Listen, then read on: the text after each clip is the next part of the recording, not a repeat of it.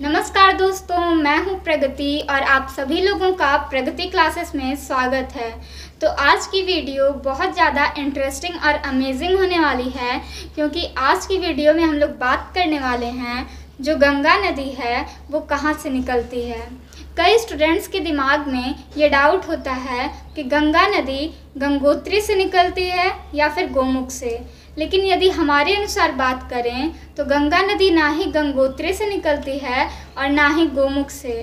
और साथ ही साथ, बच्चों के दिमाग में ये भी डाउट होता है कि सबसे ऊँचा बाँध टिहरी बाँध है या फिर सबसे ऊँचा बाँध भाखड़ा नांगल बाँध है।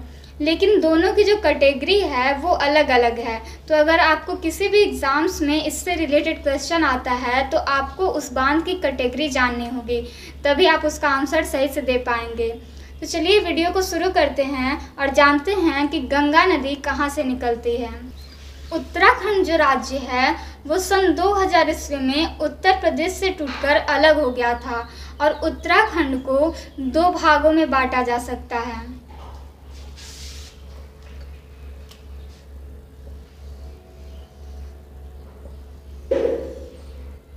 इसका जो पूर्वी भाग है, इसे कुमायूं कहा जाता है। और जो इधर वाला भाग है, इसको कहा जाता है गढ़वाल। गढ़वाल वाले भाग में बहुत ऊँचे ऊँचे पहाड़ियाँ पाई जाती हैं और जिसे हिमानी कहा जाता है। और हिमानी का मतलब तो आप लोग समझ ही गए होंगे। हिमानी का मतलब होता है ग्लेशियर, यानी कि पहाड़ों पर बर्फ़ के बड़े बड़े परत पाए जाते हैं। अब सवाल ये उठता है कि इन पहाड़ों पर का जो बर्फ़ होता है, ग्लेशियर होता है, वो कहाँ जाता है? तो जैसे जैसे ऊंचाई बढ़ती जाती है, प्रत्येक एक सौ पैंसठ मीटर ऊँचा जाने पर टेम्परेचर में एक डिग्री सेल्सियस की कमी आने लगती है। ये कमी क्यों आती है? ये एक अलग टॉपिक है, जिसका हम लोग दूसरी वीडियो में डिस्कशन करेंगे। और अब हम लोग जानते हैं कि जो गंगा नदी है, वो कैसे उसका निर्माण होता है, कहाँ से वो निकलती है। तो जब हम धरती पर होते हैं तो हमें उष्मा विभिन्न प्रकार से मिलती है। यानी कि हमें सूर्य से भी उष्मा प्राप्त होती है और हमारी आसपास की जो दीवारें होती हैं, उससे भी हमें उष्मा प्राप्त होती है और साथ ही साथ धरती से भी हमें उष्मा प्राप्त होती है। लेकिन जब हम ऊंचाई की ओर जाते हैं तो हमें सिर्फ़ एक ही प्रकार से उष्मा प्राप्त होती है, जो कि सूर्य के द्वारा होती है। तो इसी प्रकार से जब हम ऊंचाई की ओर जाते हैं तो जो हमारा टेम्परेचर होता है, वो कम होने लगता है। टेम्परेचर घटने से हवा की जो नमी होती है, गर्मियों के दिनों में तो हमें नमी नहीं दिखाई देती है, लेकिन जब ठंडी का दिन होता है तो हमारे मुँह से और साथ ही साथ जब हम लोग सांस लेते हैं तो जो भाप निकलती है, उसे नमी कहा जाता है। ये जो नमी होती है, ये बर्फ़ की ग्लेशियर से जब टकराती है तो बर्फ़ का स्रोत बनाती है और इस प्रकार से नदियों का उद्गम होता है। तो चलिए अब हम लोग जानते हैं कि गंगा नदी किन किन नदियों से मिलकर बनी हुई है। तो सबसे पहले बद्रीनाथ में एक संतोपत हिमानी है, जहाँ से दो नदियाँ निकलती हैं। पहला नदी है विष्णु गंगा और दूसरी नदी है धौली गंगा। जब दो नदियों की गहराई समान हो तो जो उनके संगम से जो नदी बनती है, उनके संगम से जो नदी बनती है, उसका नाम जो होता है वो बदल जाता है। तो इन दोनों नदियों की गहराई चूँकि समान है, इसीलिए यहाँ पर जो नदी बनी है, उसे कहते हैं अलकनंदा। तो यहाँ से अलकनंदा नदी शुरू हो जाती है। और फिर यहाँ से आती है नंदाकिनी नदी। और नंदाकिनी नदी की जो गहराई है, वो अलकनंदा नदी की गहराई से कम है। इसीलिए जब यहाँ पर ये दोनों नदियाँ मिलती हैं तो नंदाकिनी नदी यहीं पर समाप्त हो जाती है और फिर अलकनंदा नदी जो है, वो आगे की ओर बढ़ती है। और फिर यहाँ से आती है पिंडार नदी। पिंडार नदी की भी जो गहराई है, वो अलकनंदा नदी से कम है। इसीलिए पिंडार नदी यहीं पर ख़त्म हो जाती है और फिर अलकनंदा आगे की ओर बढ़ती है। और साथ ही साथ इधर से केदारनाथ से एक नदी आती है, जिसे कहते हैं मंदाकिनी नदी। जब मंदाकिनी नदी अलकनंदा से मिलती है तो इसका जो गहराई है मंदाकिनी नदी का, वो अलकनंदा नदी की गहराई से कम है। इसीलिए जो मंदाकिनी नदी है, वो भी आकर के यहाँ पर समाप्त हो जाती है और फिर जो अलकनंदा नदी होती है, वो आगे की ओर बढ़ती जाती है। और फिर जो है, उत्तर काशी के पास एक जिला है, जिसे गंगोत्री कहा जाता है, जिसका एक्यूरेट प्लेस है गोमुख। यहाँ से एक नदी निकलती है, जिसका नाम है भागीरथी। और भागीरथी नदी जब अलकनंदा से मिलती है तो इसकी जो गहराई है, वो भी अलकनंदा से कम है तो फिर ये नदी आगे की ओर बढ़ती है और यहाँ पर एक नदी आगे भागीरथी नदी से मिलती है, जिसका नाम है भिलांगना नदी। जब भिलांगना नदी भागीरथी से मिलती है तो फिर ये आगे की ओर बढ़ जाती है, क्योंकि भिलांगना नदी की जो गहराई है, वो भागीरथी नदी से कम है। इसीलिए जो भागीरथी नदी होती है, वो आगे की ओर बढ़ जाती है और फिर भागीरथी नदी और अलकनंदा नदी का जहाँ संगम होता है, वहाँ से गंगा नदी का प्रारंभ होता है। जिस जगह पर विष्णु गंगा और धौली गंगा का संगम होता है, यहाँ मतलब कि जब दो नदियाँ आपस में मिलती हैं तो उसे प्रयाग कहा जाता है। तो जब विष्णु गंगा और धौली गंगा दोनों आपस में मिलती हैं तो विष्णु प्रयाग बनता है। और फिर जब नंदाकिनी नदी अलकनंदा से मिलती है, यानी कि इन दोनों का जब संगम स्थल जो है, उसे कहते हैं नंद प्रयाग फिर जब पिंडार नदी, अलकनंदा नदी से मिलती है तो इन दोनों के संगम स्थल का नाम होता है कर्णप्रयाग।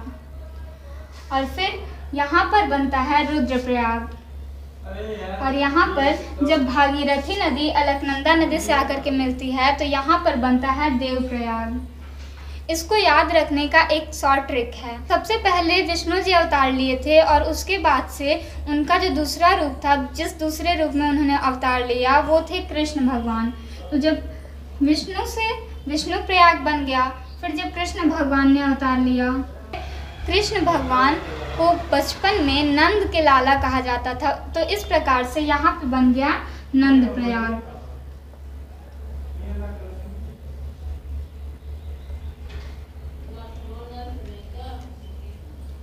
और फिर उसके बाद से जब कृष्ण भगवान थोड़े से बड़े हुए तो अपने कानों में वो कुंडल पहनने लगे, जिसे कहा जाता है कर्ण प्रयाग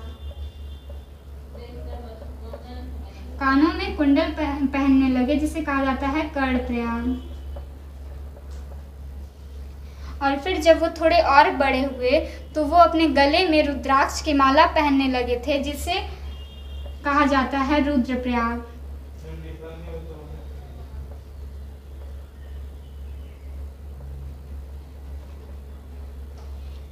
और फिर ये सब चीज़ें पहन के वो एक देव की भांति दिखाई देने लगे थे, देवता की भांति। तो इसलिए उन्हें कहा जाता है देव प्रयाग। देवता की भांति दिखाई देने लगे थे, इसलिए इस प्रयाग का नाम हो गया देव प्रयाग। तो जो विष्णु जी थे पहले अवतार में तो वहाँ पे बना विष्णु प्रयाग। फिर जब वो कृष्ण जी का अवतार लिए, बचपन में नंद के लाला कहा जाता था तो इस प्रकार से बना नंद प्रयाग। और फिर जब वो थोड़े से और बड़े हुए तो अपने कानों में कुंडल पहनने लगे थे, जिसे कहा जाता है कर्ण प्रयाग फिर जब वो थोड़े और बड़े हुए तो अपने गले में रुद्राक्ष की माला पहनने लगे, जिसे कहा जाता है रुद्रप्रयाग। और फिर जब वो ये सब चीज़ें धारण कर लिए तो वो एक देवता के समान दिखाई देने लगे। तो हम लोग कह सकते हैं कि वो देवप्रयाग हो गया।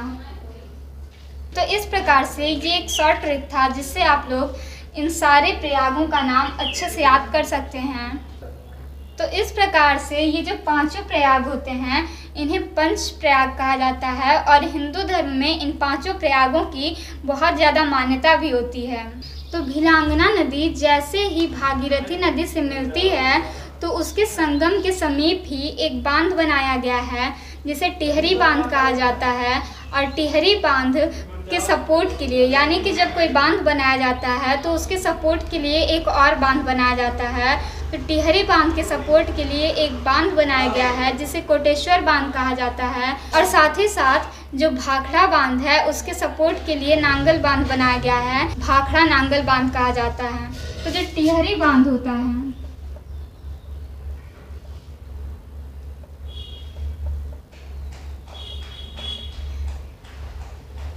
ये 260 मीटर ऊँचा है।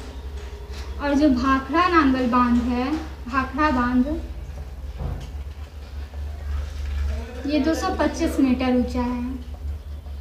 लेकिन अगर आपसे किसी भी कम, ये 225 मीटर ऊँचा है। लेकिन अगर आपसे किसी भी कंपटीशन का एग्ज़ाम हुआ तो अगर आपको पूछेगा कि सबसे ऊँचा बाँध कौन सा है तो आप तो यही लिखेंगे टिहरी बाँध, क्योंकि इसकी जो ऊंचाई है वो 260 मीटर है। और भाखड़ा बाँध की जो ऊंचाई है वो 225 मीटर है। यहाँ पर तो साफ़ ही पता चल रहा है कि इसकी ऊंचाई ज़्यादा है और इसकी ऊंचाई कम है। लेकिन जो भाखड़ा बाँध है, ये ग्रेविटी के लिए ज़्यादा प्रसिद्ध है। और जो टिहरी बाँध है, ये अर्थ फिलर के लिए ज़्यादा फ़ेमस है।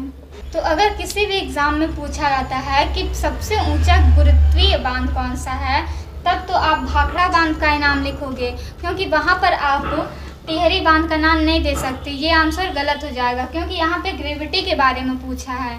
और जब आपसे पूछा जाएगा कि सबसे ऊँचा अर्थ फिलर बाँध कौन सा है तो वहाँ पे आप टिहरी बाँध का नाम लिखोगे। तो इस प्रकार से आज की वीडियो में बस इतना ही। अगर आपको ये छोटी सी जानकारी पसंद आई हो तो वीडियो को लाइक करिएगा और चैनल को सब्सक्राइब करके बेल आइकन प्रेस करना बिल्कुल नहीं भूलिएगा।